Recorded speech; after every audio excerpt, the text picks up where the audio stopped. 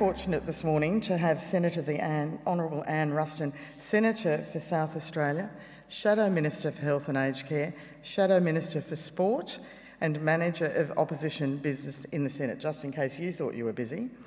And Anne's uh, come this morning to speak to us, so please join me in welcoming Anne.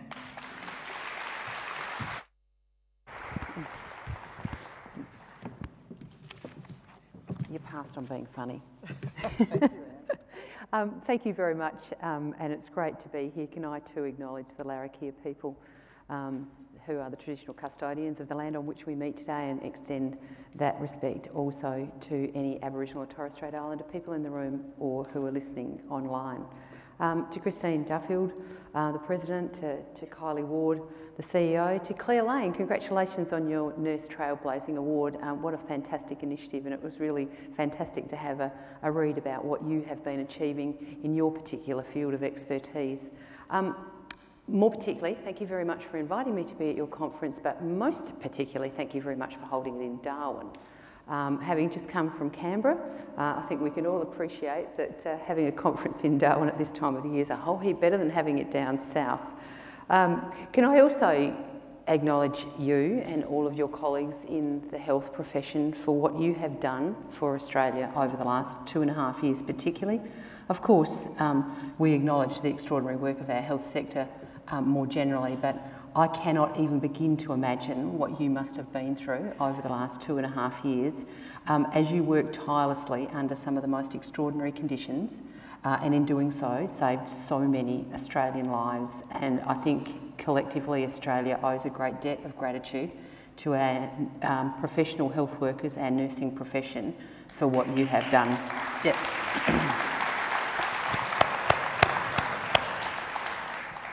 It is nice on the other side of, of the worst of the pandemic, we hope, um, that you actually also have been recognised as one of the best, if not the best in the world, in terms of how you responded to the pandemic. And it's a little comfort after what you've been through. The fact that you've been acknowledged for that, I think, is, is fantastic.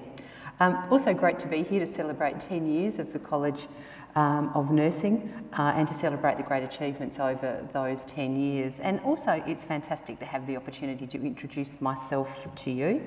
Um, uh, I'm not completely uh, an alien to the health sector for a couple of reasons. One, I'm the most accident prone person in the world. Um, and so many of you, um, or your colleagues, have put plasters on, put splints on, stitched me up, you know, put ice packs on my head uh, and the like over the many years of my life that I've spent trying to, you know, do things to more extreme levels than my older brothers and paying the price for it. Um, but also, I grew up in a, in a household where my mother was one of the only two nursing sisters in the small community that I lived in. Um, and it was really interesting when mum got married back in the, the early 60s, she had to retire she wasn't that she just, um, you know, was going to take some time off when she had her family. She actually had to retire. I found that quite extraordinary in talking to her um, about that experience. Luckily for her, she was the only person who was qualified to relieve the matron when the matron went on holiday, so she was allowed to at least stay um, working as a nurse until she fell pregnant, and then that was absolutely um, the end of her nursing career at that time. She retired. Um, she spent a number of years um, bringing up a family, and by the time uh, me and my brother were old enough to go to school, the nursing profession and, uh, and Australia, Australia's laws had changed in such that she was able to go back to work. And you sort of think about that in the context of the workforce challenges that you are all facing at the moment. Can you imagine that if every single one of you who got married or had a child had to retire, we wouldn't have much of a profession left, would we? But I think it does really highlight the workforce challenges that, that Australia is facing at the moment, particularly in the care sector. And having come and still um, spend most of my time in rural and regional South Australia, understand the extraordinary pressures that our rural, regional and remote workforces are under.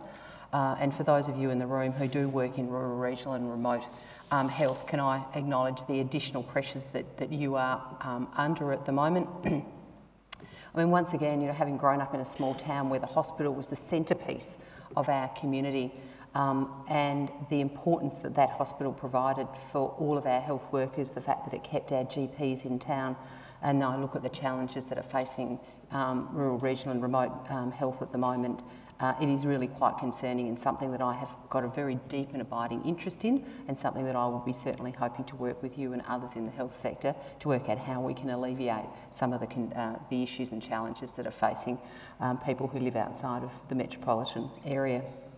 I mean, one of the other things that seems a big challenge to us is the sort of the intertransferability of staff, care staff, between different sectors, um, and with the challenges of a insufficient quantity of, of workforce being available at the moment with closed borders for so many um, years. And, and I think to some degree, perhaps the, the negative implications we saw, particularly with um, nursing in the aged care sector following the Royal Commission, that we have some challenges about making sure that we put nursing back on the top of the pedestal as one of the most aspirational, worthwhile and, and rewarded professions for Australians to want to undertake.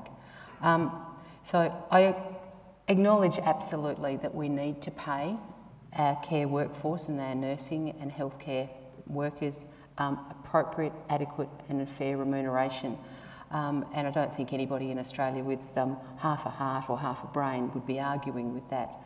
But I think one of the things that I would like to acknowledge the college for are all the other things that go towards making nursing a rewarding career um, that uh, outside of just um, looking at, at wage rates. I mean, the education, the training, the leadership um, that is provided by this organisation, I think is, is an absolute testament to the organisation, and I acknowledge you for that.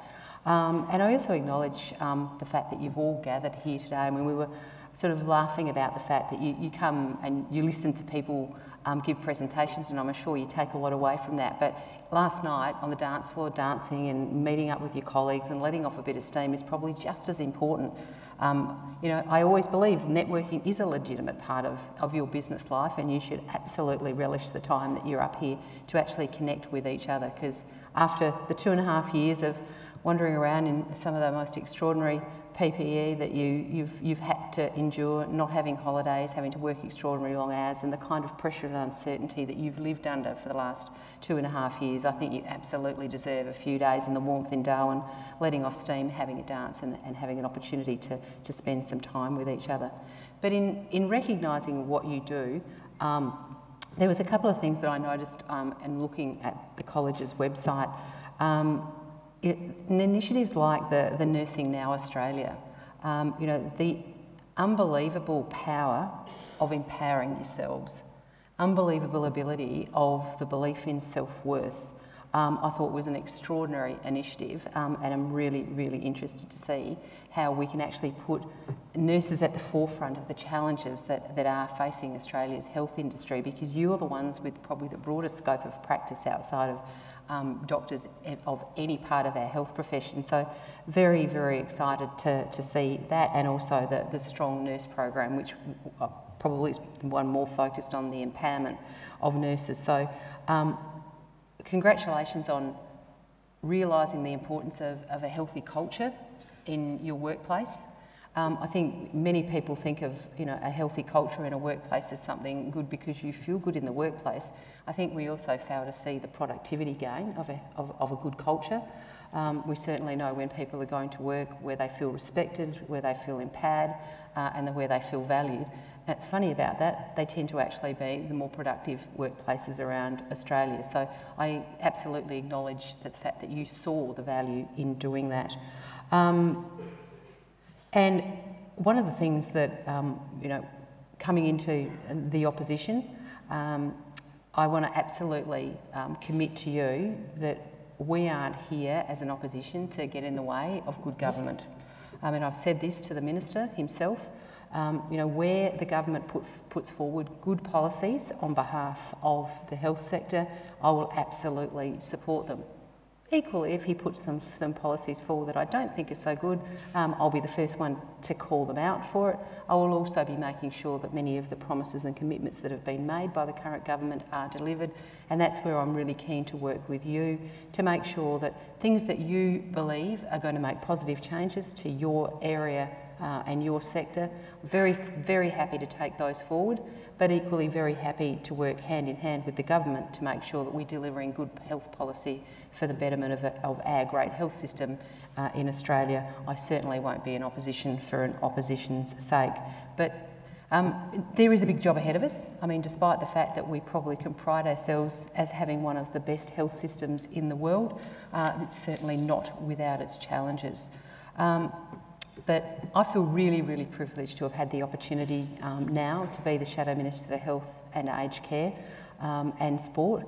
Uh, and over the next three years, I give you my absolute commitment and undertaking that I will work tirelessly, first of all, to get myself up to speed, because this is the massive portfolio and gaining a, even a, a, light but broad understanding of everything that happens within the sector is going to be challenging enough. And so that's why I'll be relying very heavily on organisations like the Australian College of Nursing um, to provide me with the information and the background so that I can advocate as strongly as I possibly can on your behalf. So I'm here with a commitment to listen and learn. I'm here with a commitment to make sure that I stand up for you and the interests of all nurses across Australia. Um, I wish you all the best with the last day of your program. Hopefully, not too many hangovers in the room this morning. I uh, wish you all the best heading home to wherever you come from, uh, and uh, I look very much forward to working with you over the next three years as we pave a way for our continued great health sector in Australia. So, thank you very much for having me. Senator Ruston, I'd just like to thank you for taking the time to come and talk to us this morning. And I think there were some, some fabulous things in, in what you've said there this morning about empowering for us as a profession. Kylie and I particularly like the way that you spoke about how you're going to work with the government of the day and putting health first rather than party politics first. We liked that. But our favourite bit was when you said networking was really important. I mean, as if we needed encouragement, but thank you. thank you for the encouragement. And so just a little token, this is, um, it's a, a, year in review of ACN, so it's a bit busy. Uh, but anyway, you know, oh, just a little you. bit of in-flight reading material. and another gift, we've got these beautiful, they've been made by a Canberra artist. Uh, it's a cheese board where, in which you can fit a lot of cheese. I've said that before. Yeah. Mm. If, if, if you're not into cheese, cricket? it's cricket. cricket. Yeah. Um, and look, if you uh, look, I, I, wouldn't like to be the person that encourages, but I think it could be a weapon. No, cricket. Cricket. Cricket. cricket. All right, then. I don't do sport, but anyway, there you are. Thank, thank, thank you. you. Join me in thanking Senator. Thank you.